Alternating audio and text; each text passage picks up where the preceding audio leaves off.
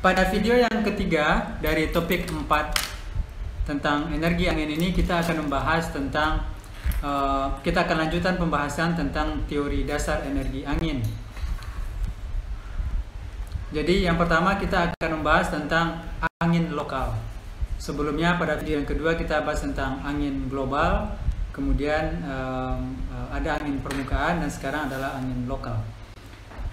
Kita sudah membahas bahwa angin global itu penting dalam menentukan profil angin secara umum di suatu daerah. Namun kondisi iklim setempat lebih dipengaruhi justru oleh arah angin. Nah, arah angin ini um, uh, ditentukan oleh apa yang terjadi oleh cuaca di ketinggian 0 sampai 100 meter dan itu sangat dipengaruhi oleh keadaan uh, permukaan bumi itu sendiri. Nah, oleh karena itu maka sistem PLTB atau pembangkit listrik tenaga bayu atau pembangkit listrik tenaga angin eh, itu eh, bertumpu pada angin lokal ini.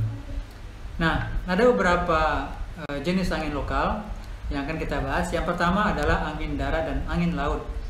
Angin darat dan angin laut ini akan eh, saya sudah menyiapkan sebuah video pelajaran uh, tentang angin darat dan angin laut untuk siswa SD, tapi relevan juga untuk kita bersama.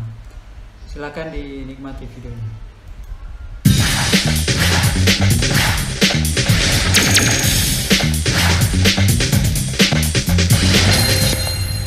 Wow, akhirnya aku tahu kapankah angin darat dan angin laut terjadi. Angin bertiup dari daerah yang bersuhu rendah ke daerah yang bersuhu tinggi. Pada malam hari, udara di atas daratan lebih dingin daripada udara di atas laut. Sehingga udara dari laut bergerak ke atas dan diisi oleh udara dari darat. Oleh karena itu, angin darat terjadi pada malam hari. Angin darat ini dimanfaatkan oleh para nelayan untuk melaut. Itulah sebabnya para nelayan pergi melaut di malam hari. Dan pada siang hari, udara di atas daratan lebih panas daripada udara di atas laut. Sehingga udara dari darat bergerak ke atas dan diisi oleh udara dari laut. Oleh karena itu, angin laut terjadi pada siang hari.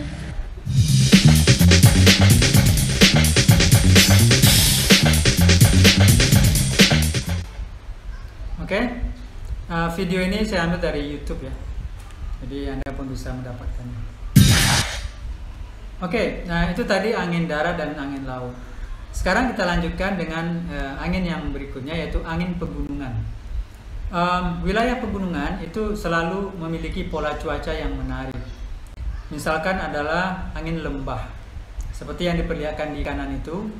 Uh, angin lembah ini bersumber dari lereng yang menghadap ke selatan kalau kita berada di belahan bumi utara atau uh, lereng yang menghadap ke utara kalau kita berada di belahan bumi selatan. Nah, ketika lereng ini dan udara sekitarnya panas atau dipanaskan oleh matahari, maka kepadatan udaranya akan berkurang. Karena kepadatannya berkurang, maka udara akan naik ke atas mengikuti kontur permukaan uh, lereng ini. Pada malam hari, apa yang terjadi? Angin ini akan berbalik arah dan dia akan menjadi angin lereng yang turun ke bawah atau angin lereng bawah. Kalau dasar lembahnya miring, maka udara itu akan dapat bergerak ke bawah atau ke atas lembah seperti angin yang sering kita temui di ngarai atau disebut dengan angin ngarai. Nah, angin yang mengalir di sisi bawah biasanya itu uh, sangat kuat sisi bawahnya. Sebuah tuber angin seperti yang diperlihatkan pada gambar yang kanan itu, dia memperoleh oh, maaf um, sebelum itu itu itu tadi tentang angin lokal ya. Sekarang kita masuk ke subtopik berikutnya adalah energi yang berada di dalam angin. Oke, okay? karena itu bagian dari yang akan kita bagian penting dari mata kuliah energi yang ada di dalam angin.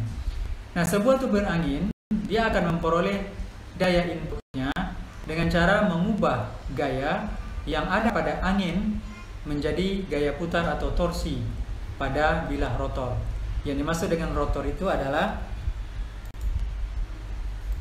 ini baling-baling ini gabungan dari tiga buah baling-baling itu disebut dengan rotor. Besarnya energi yang ditransfer oleh angin ke rotor itu tergantung kepada beberapa hal. Misalkan yaitu pertama kepadatan udara yang mengenai rotor itu, kemudian luas rotornya sendiri. Luas rotor itu adalah yang diperlihatkan oleh garis putus-putus ini dan kecepatan anginnya. Nah, gambar itu menunjukkan se sepotong silinder. Kita anggap angin itu seperti sebuah silinder, seperti sebuah tabung yang tebalnya sekitar 1 meter. Lalu dia bergerak melalui rotor turbin angin ini. Rotor itu luasnya 2300 meter kuadrat, dayanya sekitar 1000 kW. Nah, eh, dengan luas sekitar 2300 meter kuadrat, maka diameter rotornya sekitar 54 meter. Setiap silinder udara memiliki berat setiap silinder udara ini memiliki berat sekitar 2,8 ton. 2,8 ton ini berasal dari 2300 yaitu luas uh, rotornya dikalikan dengan 1,225 kg. 1,225 kg ini adalah kepadatan udara. Nah, kita lihat kepadatan udara, energi kinetik dari sebuah benda yang bergerak itu sebanding dengan massa atau beratnya. Jadi kalau Anda melemparkan kelereng yang kecil, itu energi kinetiknya mestinya lebih kecil dibandingkan Anda melemparkan batu sebesar kelapa. Energi kinetiknya akan lebih besar. Oleh karena itu, energi kinetik angin juga bergantung pada massa udara itu. Nah, massa udaranya, massa udara adalah massa jenisnya, yaitu massa per satuan volumenya. Dengan kata lain, bisa kita katakan bahwa jika udaranya semakin berat, maka akan semakin banyak energi yang diterima oleh turbin kita. Pada tekanan atmosfer normal dan pada suhu 15 derajat Celcius, berat udara itu sekitar 1,225 kg per meter kubik. Inilah konstanta inilah yang disebut dengan kerapatan udara. Tetapi kerapatan atau kepadatan udara ini akan turun kalau kelembaban udara itu meningkat. Selain itu, udara juga akan lebih padat pada saat dingin dibandingkan udara itu panas. Di daratan tinggi, di kawasan pegunungan misalnya, tekanan udara di sana lebih rendah dan kepadatan udaranya pun lebih kecil. Mari kita lihat luas rotor. Sebuah turbin angin 1000 kW atau 1 MW biasanya memiliki diameter rotor 54 meter. Jadi diameter ya mulai dari ujung sini sampai ke ujung sini. 54 meter, cukup panjang. Sehingga akan menghasilkan luas rotor sekitar 2300 meter persegi. Luas rotor ini menentukan seberapa banyak energi yang bisa dihasilkan oleh turbin angin. Karena semakin luas rotornya, maka akan semakin banyak energi yang mengenainya. Kalau rotornya kecil, maka sedikit juga energi angin yang akan menimpanya. Uh, karena luas rotor ini bertambah dengan kuadrat diameter rotor, maka turbin yang ukurannya dua kali lebih besar akan menerima dua pangkat dua atau dua kali dua atau empat kali lebih banyak energi. Sekali lagi, kalau turbin angin ukurannya dua kali lebih besar, maka dia akan menerima empat kali lebih banyak energi. Turbin angin membelokkan angin. Pada gambar sebelumnya yang di atas ini, kita menyederhanakan banyak hal um, pada kenyataannya turbin angin itu membelokkan arah angin. Bahkan arah angin ini sudah dibelokkan sebelum angin mencapai bidang rotor.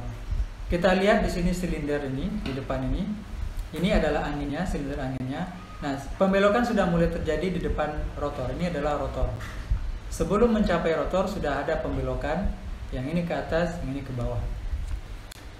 Apa maknanya? Maknanya adalah kita tidak akan pernah bisa menangkap semua energi angin dengan menggunakan turbin angin. Karena di sini dari ujung rotor ini sampai ke ujung sini ada yang tidak tertangkap. Dari ujung rotor ini sampai ke bawah juga ada bagian yang tidak tertangkap. Sehingga tidak semua energi angin yang ada di depan ini akan tertangkap oleh turbin angin kita.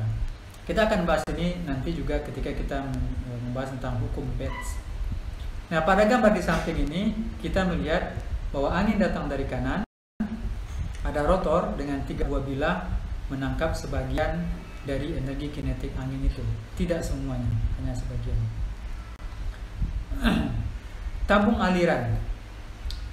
Rotor turbin angin, dia akan memperlambat angin seperti yang tadi. Karena dia menangkap energi kinetiknya dan mengubahnya menjadi energi rotasi. Jadi energi angin yang tadi itu sebagian itu diserap energinya oleh rotor. Oleh karena itu kecepatan angin tadi akan berkurang. Artinya angin yang akan bergerak lebih lambat di kiri rotor. Jadi kecepatan angin di sini akan lebih lambat dibandingkan dengan kecepatan angin sebelum dia mengenai rotor.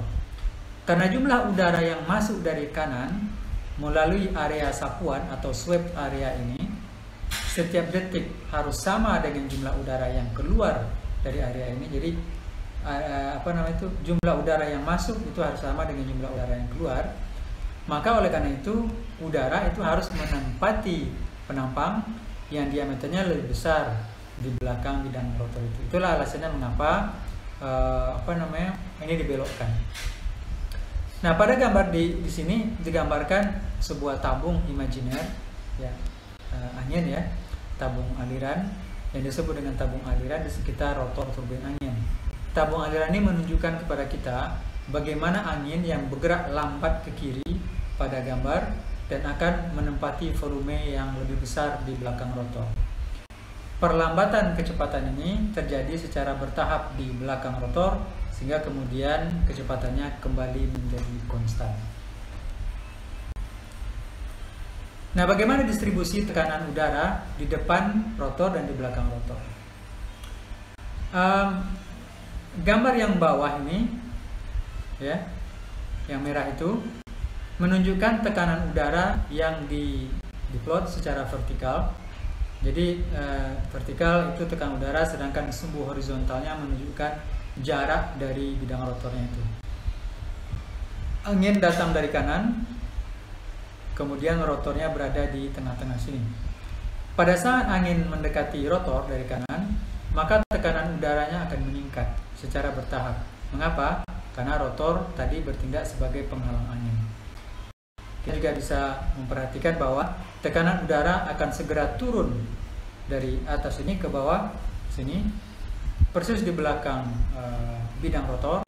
Kemudian dia akan naik lagi tekanannya ketika sudah menjauhi rotor dan kemudian akan uh, akan memiliki tekanan yang sama dengan udara sekitarnya. Nah, apa yang terjadi ketika angin ini jauh lagi ke belakang? Kalau kita bergerak lebih jauh lagi ke belakang atau ke hilir, maka mungkin akan ada turbulensi angin yang akan menyebabkan angin itu menjadi lambat di belakang rotor.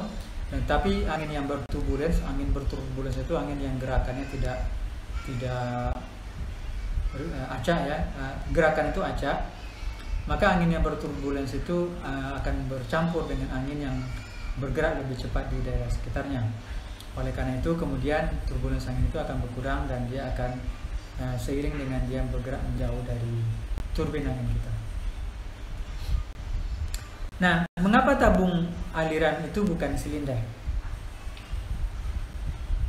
Mengapa tabung aliran tidak berbentuk botol seperti ini? sorry, mengapa tabungan air itu berbentuk botol tapi bukan berbentuk silinder seperti ini? Mari kita bayangkan, andaikan turbin angin turbin angin kita letakkan di tabung silinder, apa yang akan terjadi? Angin di sebelah kiri rotor itu bergerak dengan kecepatan yang lebih rendah daripada angin yang ada sebelah kanan. Tetapi pada ya, saat yang sama, kita sudah tahu bahwa volume udara yang masuk dari kanan setiap detik harus sama dengan volume udara yang keluar dari tabung kiri. Oleh karena itu kita bisa menyimpulkan bahwa jika angin dihambat oleh rotor di dalam tabung, maka sebagian udara yang datang dari kanan itu harus dibelokkan supaya dia bisa masuk ke dalam tabung karena tekanan udara yang tinggi di sebelah kanan ada pada ujung tabung. Oleh karena itu, tabung silinder bukanlah sebuah gambaran yang akurat tentang apa yang terjadi pada angin ketika angin itu bertemu dengan turbin angin. Gambar yang bawah ini, yang berbentuk botol ini adalah gambar yang yang benar. Kecepatan angin dan energi. Kecepatan angin sangat menentukan jumlah energi yang bisa diubah oleh turbin angin menjadi listrik. Jika kecepatan angin dua kali lebih tinggi, maka dia akan mengandung dua pangkat tiga energi. Dua pangkat tiga adalah dua kali dua kali dua atau delapan kali empat energi. Sekali lagi saya ulangkan, jika kecepatan angin dua kali lebih tinggi, maka energinya meningkat delapan kali lipat. Grafik ini menunjukkan hal itu. Pada kecepatan angin 8 meter per detik di sini, kita bisa mendapatkan gaya. Gaya adalah daya jumlah energi per detik sebesar sekitar 314 watt per meter kuadrat. Kita tahu bahwa uh, angin itu datang dari arah tegak lurus dari sapuan rotor. Tetapi kalau arah kalau kecepatan angin kita dobelkan, kita lipat dua kan, menjadi 16 meter per detik, kita tidak mendapatkan dua kali lipat dari ini. Dua kali lipat dari 314, kita tidak mendapatkan 628, tapi justru kita mendapatkan 2509 watt per meter kuadrat. Karena setiap penggandaan kecepatan angin menyebabkan energi yang dihasilkan itu meningkat 8 kali lipat. Nah, tabel ini menunjukkan kecepatan angin dan uh, energi yang, yang akan dihasilkan. Mulai dari kecepatan angin 0, tentu saja 0 energinya, sampai kecepatan angin 23 meter per detik. Anda bisa lihat itu nanti. Nah, kecepatan angin dan energi, daya angin yang lewat secara tegak lurus melalui suatu daerah melingkar, seperti contoh kita ini, berapa daya angin yang lewat secara tegak lurus melalui suatu rotor, dirumuskan dengan rumusan ini, P sama dengan setengah pangkat rho dikali V pangkat 3 pangkat Pi dikali dengan R pangkat 2 di mana P di sini adalah um, daya angin. Eh, sorry saya lupa saya salah. Rumusnya adalah P sama dengan setengah rho bukan pangkat rho ya setengah rho dikali V pangkat 3 dikali P atau Phi dikali R pangkat 2 di mana P di sini adalah daya angin dalam watts. Kemudian Rho adalah kerapatan atau kepadatan udara kering yaitu angkanya adalah 1,225 kg per meter kubik. Pada tekanan atmosfer rata-rata di permukaan laut pada suhu 15 derajat Celcius V-nya adalah kecepatan angin dalam meter per detik. P adalah konstanta 3,14. R adalah jari-jari rotor dalam meter. Nah, kira-kira begitulah e, rumusan untuk mengukur berapa daya listrik, daya bukan daya listrik, berapa daya yang akan dihasilkan oleh rotor, ini belum listrik ya, yang didapatkannya dari energi angin. Demikianlah video yang uh, yang kedua ini kita membahas tentang uh, energi yang ada di dalam angin.